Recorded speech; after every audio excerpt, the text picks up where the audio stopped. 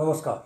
Health bulletin हेरेर बसिरहनु भएको सबैलाई स्वागत गर्दै तपाईँहरूको अघि हाम्रा सिक्किमको आजसम्मको कोभिड सिनारियो भन्नु गइरहेको छु जुन यस प्रकार छ। Total number of test done हेऱ्यो भने त्रिहत्तर हजार सात सय पचहत्तर seventy three thousand seven hundred and seventy five test भइसकेको छ भने टोटल एक्टिभ केसेस एक सय चार हन्ड्रेड एन्ड फोर पुगिसकेको छ। टोटल रिकभरी भएका केसेस पाँच हजार सात सय छ्यालिस five thousand seven hundred and forty six पुगिसकेको छ भने टोटल डेथ्स एक सय तेत्तिस one hundred and thirty three पुगेको छ र टोटल कन्फर्म केसेस टोटलमा आजसम्मको हेर्नु पर्दाखेरि छ हजार अठहत्तर six thousand and seventy eight पुगेका छ र आइसियुमा हाम्रो कोही पनि एडमिट छैन भने एसटिएनएमबाट एकजना होम आइसोलेसनको लागि डिस्चार्ज भएको छ र जेलबाट पनि सबैजना डिस्चार्ज भएको छ।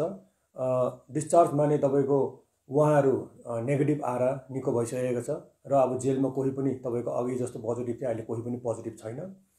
र यसरी नै हाम्रा वेस्ट सिक्किमबाट तिनजना रुरल इस्टबाट एकजना अनि अर्बन इस्टबाट दुईजना यसो गर्दा टोटल छजना होम आइसोलेसनबाट डिस्चार्ज भएको छ र न्यू रिकभरिज हेर्नु पर्दाखेरि हाम्रा जेलको र घरको गर्दाखेरि टोटल नयाँ रिकभरी भएको सत्रजना हाम्रो यसमा सिङ्लामा आएको छ।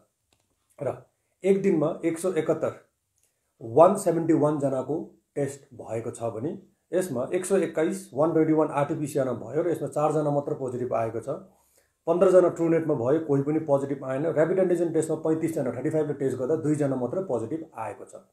र यसो गर्दा हाम्रोमा छजना नयाँ केस र छको छजना हाम्रो इस्ट सिक्किमबाट नै टेस्ट भएको छ किनभने यो इस्ट सिक्किममै टेस्ट भएको हो।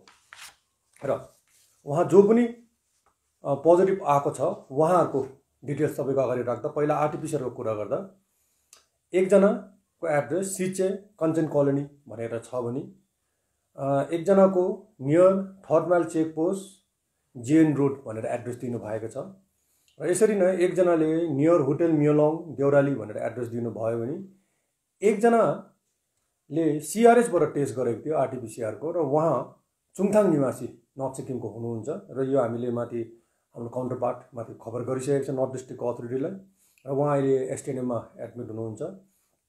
र ऱ्यापिड एन्टिजेन टेस्टको कुरा गर्दा इस्ट डिस्ट्रिक्टबाट दुईजना छ र इस्ट सिङतामबाट यो टेस्ट भएको। एकजनाको मिडल आरिटार एड्रेस छ भने एकजनाको अप्पर दलपचन एड्रेस दिएको छ। यसो गर्दा छजनाको आँकड़ा यहाँ कम्प्लिट हुन्छ आरटिपिसिआरमा चारजना अनि ऱ्यापिड एन्टिजेन टेस्टमा दुईजना।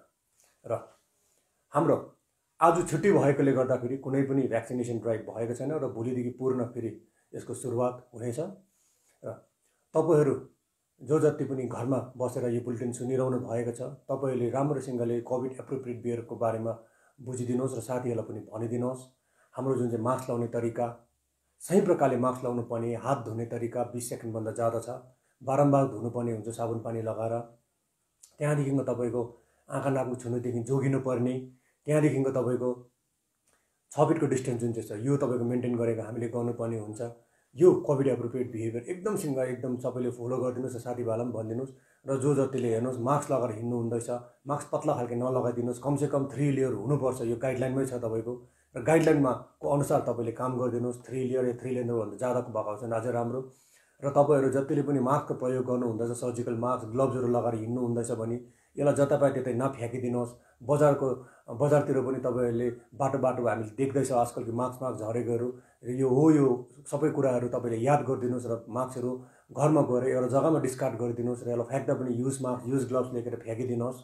र जति पनि कन्ट्याक्टमा कसैको आउनु हुँदैछ भनेपछि तपाईँहरूले फेरि आफूलाई आइसोलेट गरिदिइहालिदिनुहोस् र टाइम पुगेर सात दिनमा तपाईँहरू टेस्ट गर्न आइदिनुहोस्। र त्यहाँदेखिको जति पनि हाम्रो पचास वर्षीयदेखि उमेर उमेरदेखि माथिका अनि कोमर्बिड कन्डिसन्स भएकोहरू हुनुहुन्छ जति पनि हुनुहुन्छ जुनै एजको पनि तपाईँहरू सबैजनालाई टेस्ट गर्न आइदिनुहोस्। सिम्टोमेटिक भएको खण्डमा र यसो गर्दाखेरि धेरै हामीले कतिवटा चाल पाउने हुन्छ लाइफहरू पनि हामीले बचाउन सक्ने हुन्छ र यो हामी नभुलौँ र हामी सबैजना सेफ बचौँ सबैलाई सुरक्षित राखौँ भन्दै हाम्रो सिक्किम राज्यलाई नै हामी सेफ राख्छ भन्ने कुरा गर्दै आजको बुलेटिन यहीँ राख्न चाहन्छु। धन्यवाद।